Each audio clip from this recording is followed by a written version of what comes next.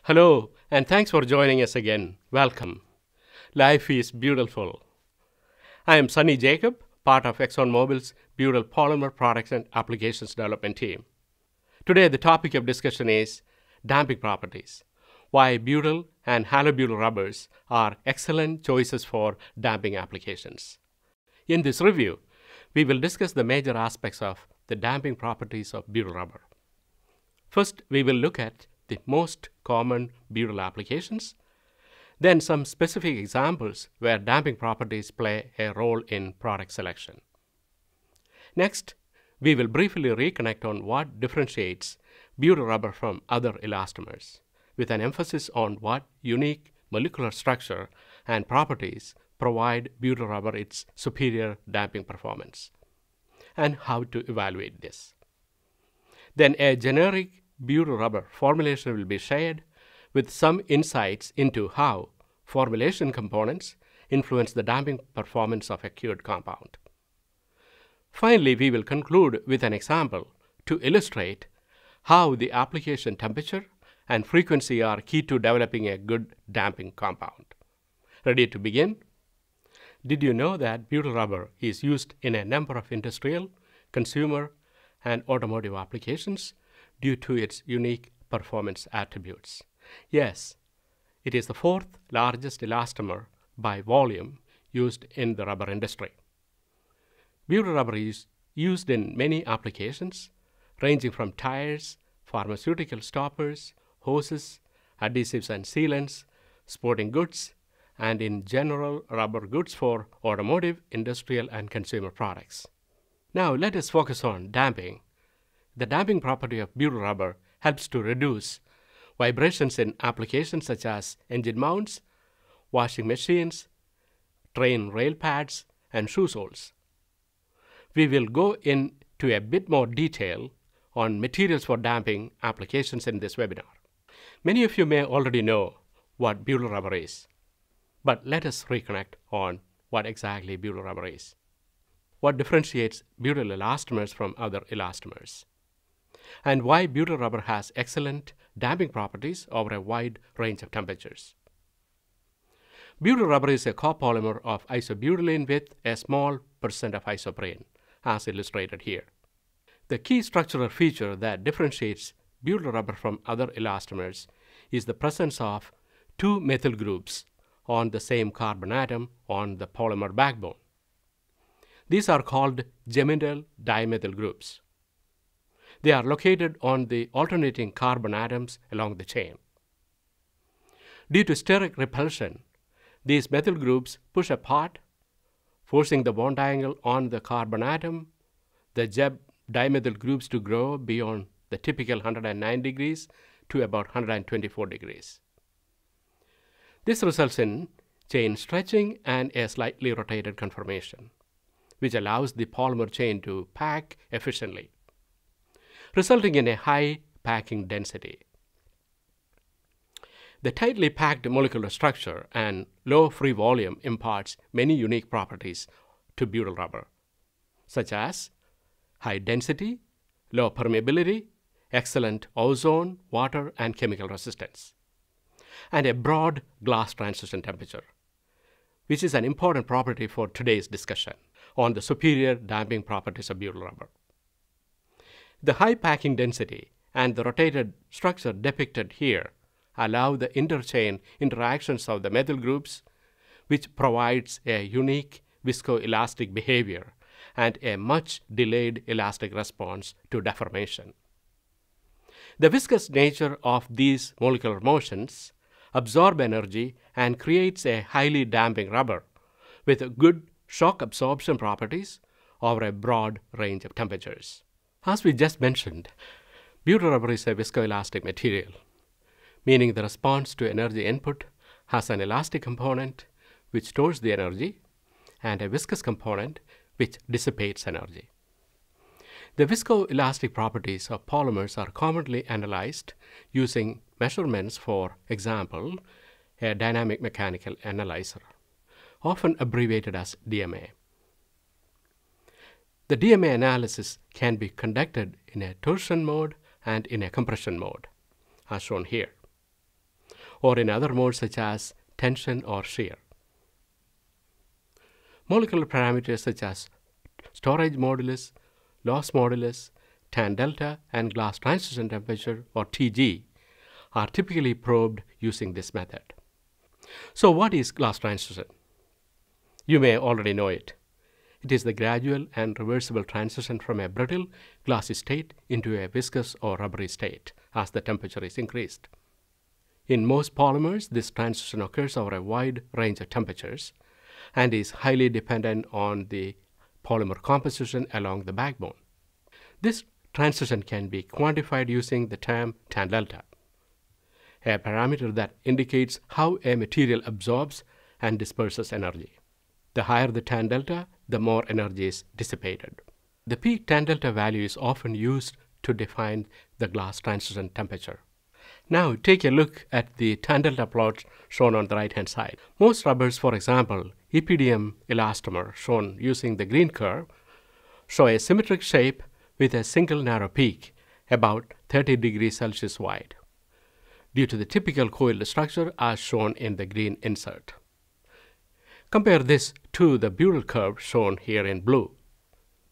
Butyl rubber shows an asymmetric, very broad tan delta curve with two peaks, a maximum peak on the high temperature side and an additional shoulder peak on the low temperature side. The peaks span over a broad temperature range of about 80 degrees Celsius, almost three times wider than other elastomers.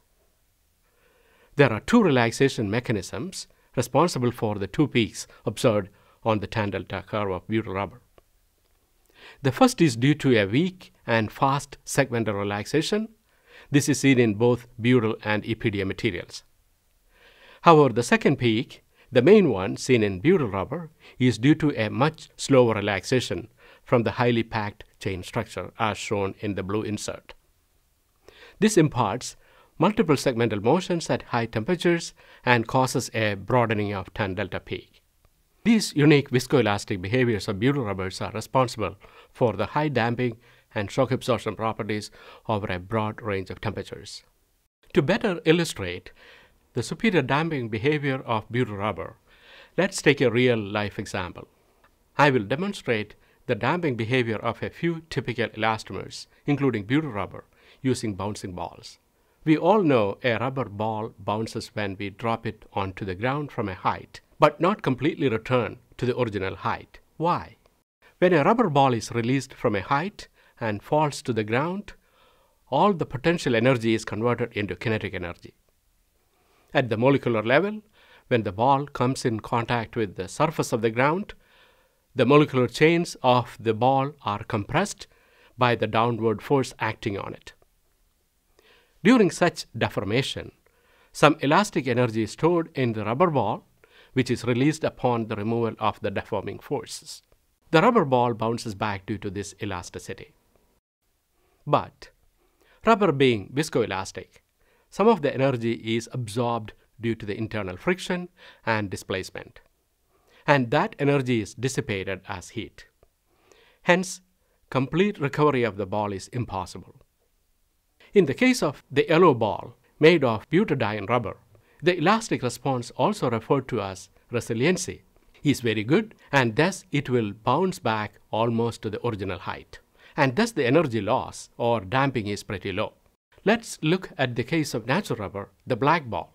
Initially the ball follow the same trajectory, but after contact with the ground, it does not recover to the same height. It has more damping than the butadiene rubber. How does EPDM rubber compare?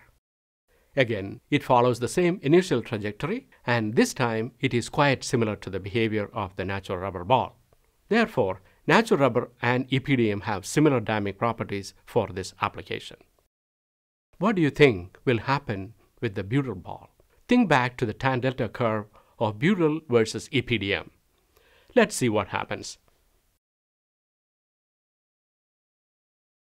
The blue butyl ball did not bounce back much at all, indicating that there is a large loss of energy and thus very high damping and is superior compared to the other elastomers. In summary, a rubber that absorbs a greater amount of energy is a better damper. From this demonstration, hopefully it gets you thinking about how you can take advantage of the awesome damping power of butyl rubber in your applications. We showed earlier that the dynamic mechanical analyzer is a commonly used analytical tool for the evaluation of the damping performance of elastomers and their compounds. But what are some other ways to directly measure damping performance in a real world? Here we have a couple of additional measurement techniques specifically designed to measure damping performance. On the left shown is an example of Yerzley mechanical oscillography response. It measures the mechanical properties of vulcanizates in a small range of deformation. And it is particularly well suited for the determination of damping under impact load. Typically, the test is conducted in compression at the test temperature such that at least three complete cycles are produced when obtaining the damped oscillatory curve. In this example, butyl rubber clearly shows the most damping compared to other elastomers. Alternatively, a great tactile and visual method for measuring damping is the response plot of a ball rebound test. Here, the damping of polymeric materials is determined by dropping a steel ball on the sample of interest from a fixed height and observing the height of rebound. The difference between two heights is proportional to the energy absorbed. The plots here show ball rebound values against temperature for vulcanizates of butadiene rubber, natural rubber, EPDM, and butyl elastomers. Butyl rubber is distinctive with its excellent damping performance across a very broad range of temperatures. The low rebound of butyl rubber represents a large capacity to absorb mechanical energy under these conditions, thus damping out undesirable vibrations encountered in vibrating automotive parts, engine mounts, running tires, appliances, and so on. Therefore, cured butyl rubber possesses exceptional ability to absorb vibrations and impact energy at temperatures up to 100 degrees Celsius and yet remains flexible down to around minus 70 degrees Celsius, its glass transition point. Now let's connect the dots and take a look at a few real life examples where damping properties are of practical importance. Have you ever looked at the feet of your washing machine and wondered what stabilizes the washing machine from moving with all the energy being released from inside? The rubber feet on a washing machine is an example of a low frequency application while the railroad pads or speaker surrounds are high frequency applications. Butyl helps to deaden the unwanted vibration and noises in each of these examples. Here we are plotting the tan delta again, which is typically measured at 1 Hz across the temperature range of interest. Perhaps the 1 Hz frequency is similar to a washing machine. But what if the application you are interested is in damping of a 10 Hz frequency. Upon increasing the frequency of the DMA test, we can see that the tan delta response of a cured compound is shifted to higher temperatures.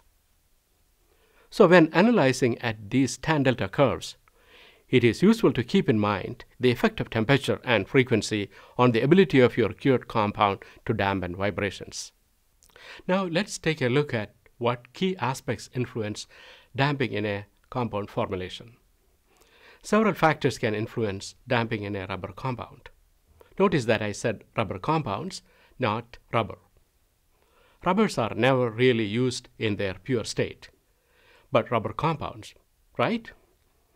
Rubber compounds are complex mixtures of a wide range of ingredients.